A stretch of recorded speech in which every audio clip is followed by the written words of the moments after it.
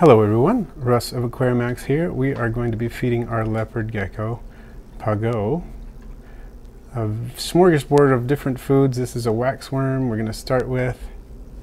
We've had her about, what has it been? Oh, Close to five years. Year we got we moved here. Yeah, almost five years. And we got her as a pretty young little gecko. She's in a bioactive enclosure, as you can see, and she's coming up to a superworm now. These are all dusted with Repashy Calcium Plus, which is both calcium and a vitamin mineral supplement. I'll put a link in the description to that if you haven't tried that. She looks like she's getting ready to shed, I think. This is a bioactive enclosure. We've had her in for probably three or four years.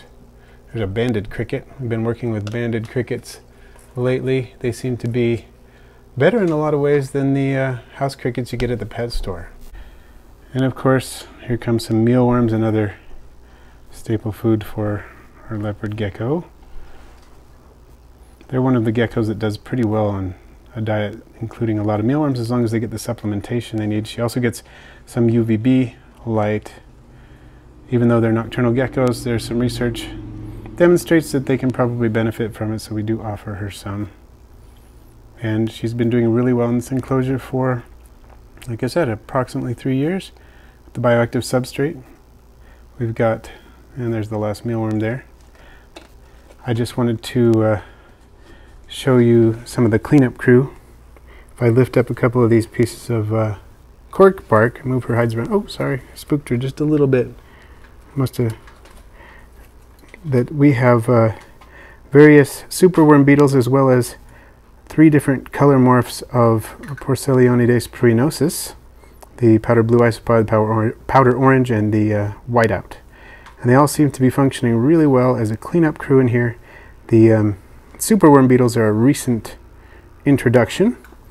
You know, uh, people often say that they need to be kept individually to pupate, and it's true that that encourages them to pupate.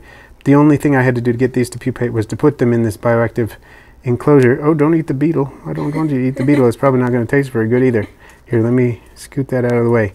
She's still hungry. We're going to have to go get her some more food in a second, Laura Okay. Anyway, with this substrate, they just dig down and find themselves a good place to pupate and uh, do really well that way. So I may just pupate some beetles here. I've clipped these plants back recently. You can see new growth on them, but they are also looking kind of uh, trashed because I clipped them back so heavily. They were pushing up against the top of the screen, and that's my fault. I didn't uh, clip them earlier. I let them go too long.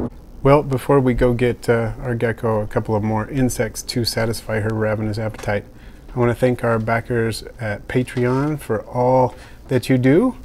There's a lot we do on this channel we couldn't do without you, so we really appreciate your support and the support of everyone who supports this channel in any way, whether that's just watching the videos or using the affiliate links, purchasing things from aquarimax.com.